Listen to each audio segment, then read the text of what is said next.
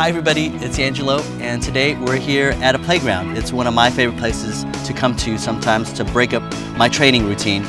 Um, so whatever movement practice that you have, whether you're strength training or conditioning for some event or you like to run or walk, um, it's, it's easy to get up, get caught up in doing the same things in the same place.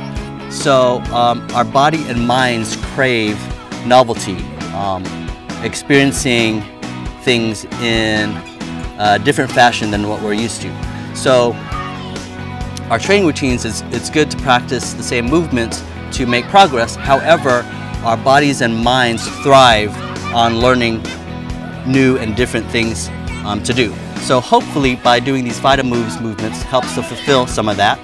Um, so try something new in your training program and see how it works out.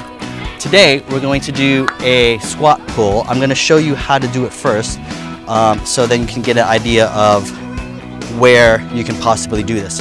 So what the movement looks like is um, you're going to need something to hold on to and you're going to bring feet hip width and then you're just going to come um, either right up against it or maybe about a four, uh, forearm, forearm's length away. So just hold on and then you're going to lean your body back and then you're going to reach your hips back and then come down. So you can see it's sort of this rounded squatting movement.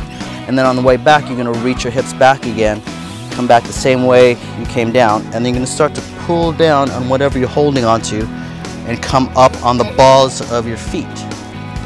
So you notice as we do this movement, we're kind of putting um, our lats into stretch here, getting our hips mobile, kind of bringing more extensibility in our hamstrings and this whole back line.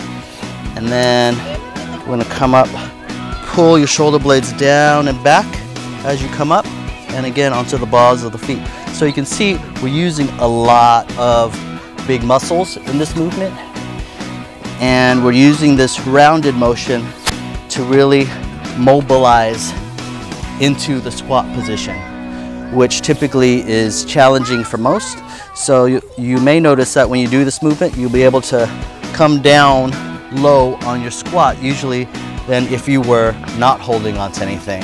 Because typically a lot of people are not so flexible that way. So this is a movement that can help progress you into a bodyweight squat movement.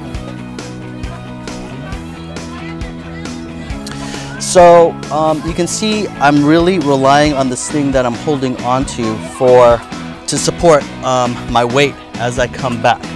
So it doesn't need to be a spider web or something that swings. You could use a doorway um, if it's wide enough and you can get a good grip. Um, you could use a park bench. You could use a tree, um, just as long as you're able to um, hold on to something that's at least chest height or somewhere around there that you can kind of get a good stretch here down in your shoulders and back as you do this movement.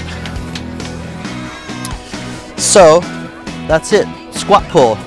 Go ahead and try that and we'll see you next week.